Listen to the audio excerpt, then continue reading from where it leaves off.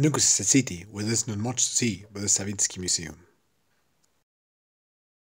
In this museum, Savitsky saved a lot of contemporary art from the Soviets.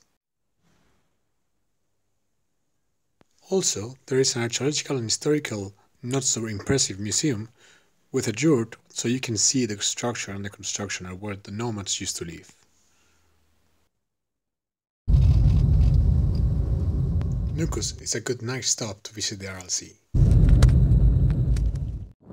Near Muinak is the cemetery of the ships. The catastrophe of the Aral Sea ecosystem is present everywhere. In the last 20 years, due to the cotton industry, the Aral Sea started to dry.